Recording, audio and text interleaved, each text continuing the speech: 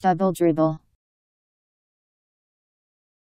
A violation committed by dribbling for a second time without giving up possession of the ball. D O U E L E D R I B B L E Double dribble